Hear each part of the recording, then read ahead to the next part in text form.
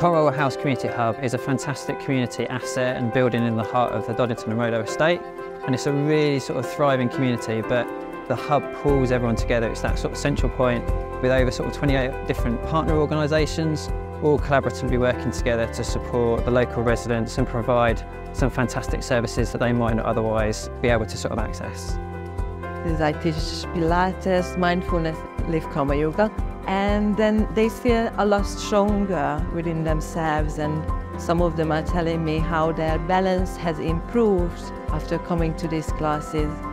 And the mindfulness has different effects on people. The impact is the well-being, it's also social because we, we meet other people here at the club. I started the session, I think it's nearly a year now, maybe more. Before I did that, I was in a dark, really dark place. You know, I had a few um, close relatives passed away, and I gave up my job as well. So there were three things, you know, and all very personal stuff, very painful stuff. And um, I was encouraged by my daughter actually to join the class, and I've never looked back. We do about 10 different projects, but our main thing is we are wellbeing coaches.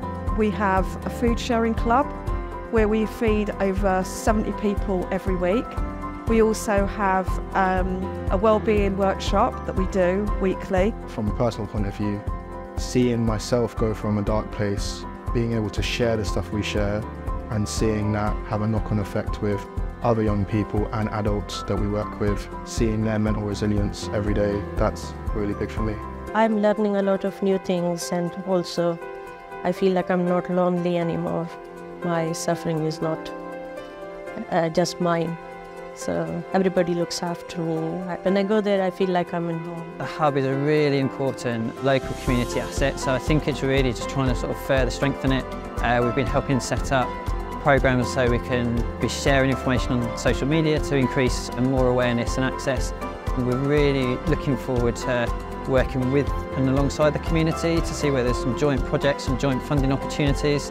Uh, we've done that with the uh, warm hubs over the winter and want to sort of continue that work um, in the future and bring in uh, even more partners and more opportunities um, that we can then sort of share that with the local residents.